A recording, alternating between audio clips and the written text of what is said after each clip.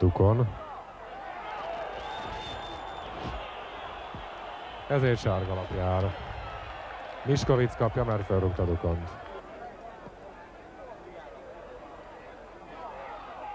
Nagy gondban Bánki, és végül csak bekatorja. Vezet a Ferencváros a 13. percben, a második félidőben. Előrevágott labda, bizonytalankodik a teljes Dunaújvárosi védelem élén Voldockival és Stanóval, és Bánki egy picit pillanatig gondban, de aztán bekatorja. Belövi 1-0 a Ferencváros javára.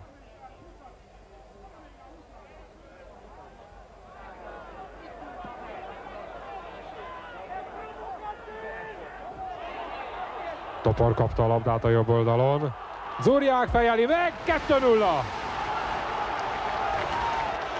A 26. percben nagyon szép Ferencvárosi támadás.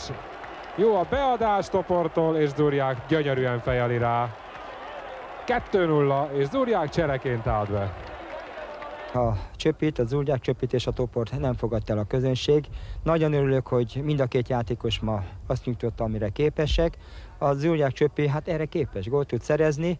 Ez volt a feladata, mondta neki, ha bemegy, akkor szerezzen egy gólt. Ő is megnyugodott, a közönség is megnyugodott. Hát ővel kapcsolatban, a kettővel kapcsolatban annyit szeretnék mondani, kérni a közönségtől, több türelmet a